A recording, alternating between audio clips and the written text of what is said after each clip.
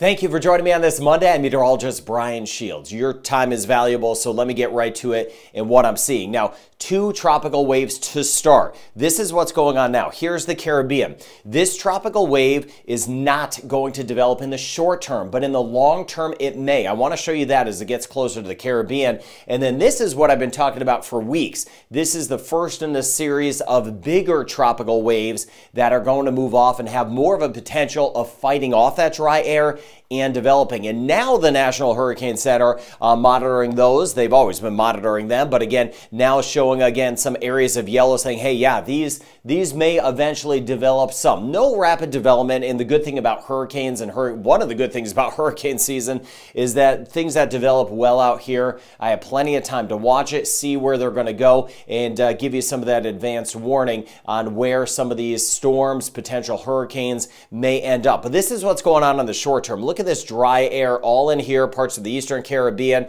parts of the central Atlantic. This is dry air. And what it's doing, let me take the first tropical wave. It's right here. See this? There's the bigger one. But this tropical wave, this dry air is going to kind of eat at that. In the short term, I'm not seeing it developing. But here's one of the more of the concerns is that if this hangs together, once it gets into the Caribbean, it could eventually develop because conditions in the Caribbean are more conducive to development. The American model, even the European model to an extent, is picking up on what I'm seeing out there and kind of seeing some of those environmental conditions the same way. So here's the American model. Now, this is going to change some. This is going way out in time, but I kind of want to show you what I'm thinking and seeing uh, behind the scenes. Now, this is by midweek. So here's the Caribbean. Uh, we've got, again, uh, Florida here, east coast of the United States, Bermuda, eastern Canada. Uh, as we go out in time, look at this little buildup of moisture here. This is that first tropical wave I was talking about. By this weekend, yeah, it's not going to develop here, but once it moves into the Caribbean, if it's still hanging together, look at that increased chance of rain here. And then if something hangs together at this point in the Caribbean by this weekend, it may start to develop. It may start to spin up. This is way out in time by Tuesday. Let me stop it here. So we're looking a little over a week now, and this is exactly what, what I'm seeing as well. And I'll show you that European model in just a second. Couple things here I want to break down. First, again, this tropical wave. The weak one may eventually develop. This is a potential in the Caribbean, so watching out for that. And then Second, it is also seeing these stronger tropical waves kind of hanging together. May develop some stuff out here. I like when they develop out here because we have plenty of time to watch it. Things that develop out in here closer to home, there's not as much time, of course, but I'm giving you that time. That's why I do this channel. This is by Tuesday. Not that this is going to turn out like this but there is that potential. And you know as well, those water temperatures are so warm. So if we get a healthy tropical wave, Gulf of Mexico, Caribbean, it could flare up in a hurry. So again, uh, just kind of put that on the back burner. Keep that in mind. Know that I am watching that on this channel, that eventually we could have a spin up in the Caribbean or the Gulf of Mexico by next week. Now, here's the European model. Here's Florida, Puerto Rico, Jamaica, Haiti, Dominican Republic, Trinidad and Tobago going out in time. Now, European model, this is midweek. It has this barrier here, high pressure here, and it's watching these tropical waves. Now, the European model, as of now, it's going back and forth. A couple days ago, it was showing a lot of development. Right now, not a ton of development, but let me take you out in time and just uh, kind of zoom into the upcoming weekend. This is by the time we get into the upcoming weekend and stop the clock. It's showing a couple things here. Okay, uh, first, uh, this is by the time we get into uh, Saturday night into Sunday. It's showing uh, uh, some development. So again, almost all of the models, uh, the Canadian, the German model, the Icon, also showing development, saying, hey, this is probably going to develop. With that said, some of these areas may stay out to sea. That's some of the good news. But let me take out in time a little bit further. Look at all this green in the Caribbean. So a couple things here. Now, let me stop it here. This, I don't want to, I'm trying not to confuse anyone. So let me just stop this. This is again again by early next week. What the European models, it's saying a couple things. One, we've got an area of high pressure here that moves off. So if something develops over near Africa, there is the opportunity for it to kind of head out to sea. That would be a good thing. I would love that. So again, I talk about this barrier being in place, but sometimes it relaxes and again, something could sneak out to sea. But like the American model, look at all this green building up here. It is still showing these tropical waves moving into the Caribbean. And again, it's also showing a buildup of moisture. You see it here uh, in the Caribbean. So that catches my attention that something may spin up in the Caribbean or even in the Gulf of Mexico, watching over toward the Bahamas by next week. That's not out of the question, not a definite thing. We're looking a week, week and a half out. But again, I'm keeping a very close eye on this because I am concerned about the water temperatures. They are so warm that if anything does start to spin up, it could spin up pretty quickly. That's just how this season is kind of going to go. In the short term, again, tons of dry air. That's a great thing out there to kind of eat at these things, prevent them from developing in the short term. But long term, a little bit of a different story. Down the road, there's no signs of Emily right now. No signs of that uh, Uh, in particular, but Emily, the next name on the list, Franklin and Gert. But again, we have those bigger tropical waves that are coming off the coast of Africa. So let me zoom down here, and then we need to get to this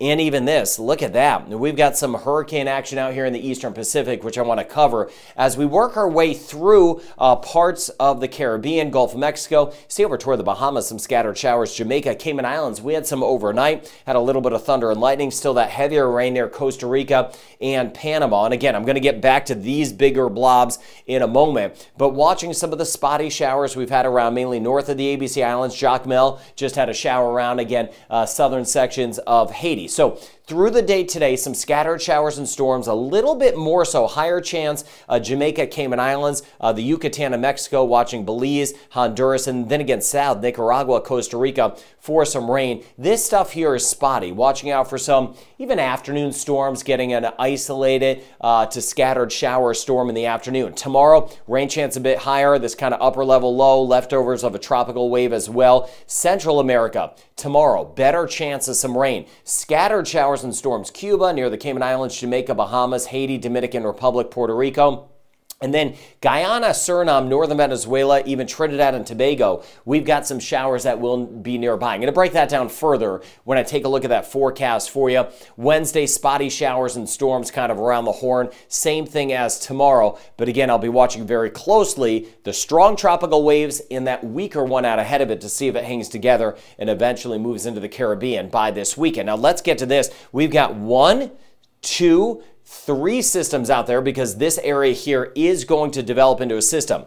These two staying away in south of Hawaii, of course, we're all thinking of Hawaii at this point with the uh, historic, the deadly uh, wildfires that they had. So again, we're being very mindful of that. Uh, now, let me show you what we've got going on as far as just kind of setting the stage. So this actually developed into Greg before this did. So this will get the name Hilary once it does develop. So that's Tropical Storm Greg. There's Fernanda. And as I talked about, that's going to to stay out to sea. Uh, but again, this looks like it's going to develop and run parallel to the coast. That was my initial concern yesterday. I was covering that on the YouTube channel Earth QC, that this would be more of a threat to lands. We could have some tropical storm conditions southwest Mexico. And this one has more of a likely, it's not definite yet, but more of a likelihood to curve up toward the Baja and even a chance it could bring rain towards Southern California. Again, uh, Fernanda is eventually going to weaken as it uh, moves toward Hawaii. But this one here, Greg, will stay south. So here's Hawaii. And again, uh, it's a tropical storm right now, and it will stay south of Hawaii. So again,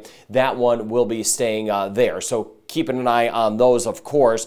But attention, oh, I should have shifted this. But either way, again, this should be up here. These uh, titles I didn't shift yet. Belize is not here, obviously. Belize is up here. I didn't shift that stuff. I widened out my map view, but I'm going to hang with you anyway. Showing you this again, what we've got going on here. This is by the time we get into the end of the week. Now, this is where the models start to split. So again, excuse these labels. Uh, El Salvador is not into the ocean, so that would be a bigger story. Um, but again, this here, uh, kind of southwest coast of Mexico. Watch watching out heavy rain, tropical storm conditions uh, late this week. Now, the European model goes a little bit more out to sea, while the American model kind of curves a little bit more to the Baja. So again, watching that, watching those trends. I don't know yet. I don't know yet how close this is going to be to the coast because, again, it's still developing. The models don't have uh, a great handle on the track until the storm develops, but there is that chance that some of this moisture could eventually even feed into Southern, Car uh, uh, Southern California if this model were to hold true. And again,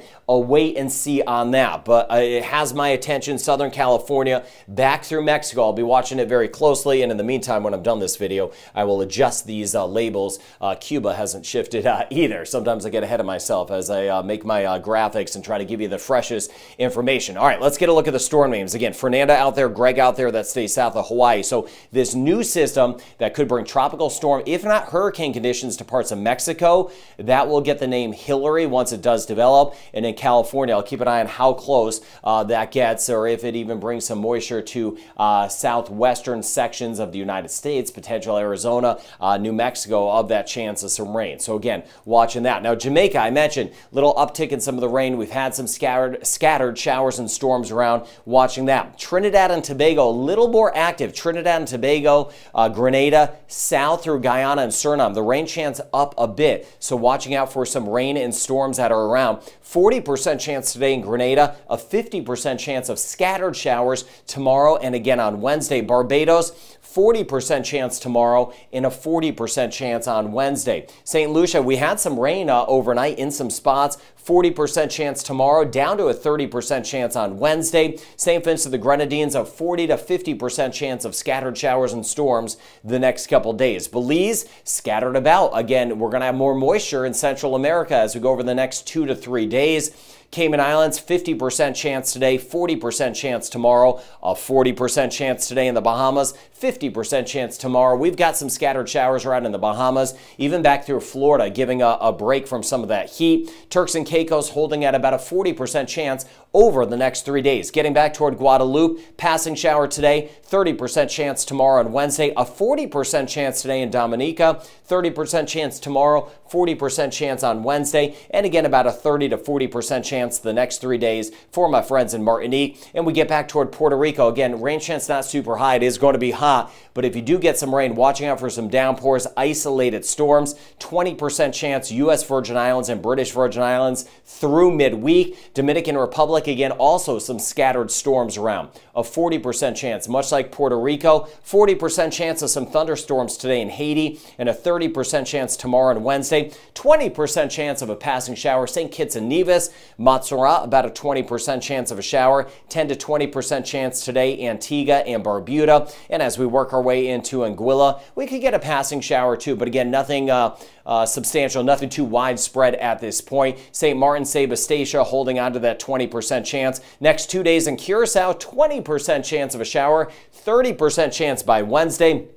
Aruba, just that 10 to 20% chance. Always keeping our fingers crossed, even over toward uh, Bonaire. Now, again, in Gu Guyana, like Trinidad and Tobago, rain chance a little higher. Scattered showers and even some thunderstorms today. Isolated flooding possible. Rain chance up a little bit in Suriname the next three days at about a 40% chance. Northern Venezuela, isolated to scattered showers and storms. Best chance eastern zones as we go over the next three days. Costa Rica, the elevated chance of rain today, tomorrow, and again back through Panama with that continued isolated flooding in some areas, river levels all on the higher side. So tropical development becoming more likely. Now, where it develops, when it develops, I'll be fine tuning that all for you. Those larger waves coming off the coast of Africa, again, not ocean waves, but these are atmospheric waves, blobs of rain and storms coming off.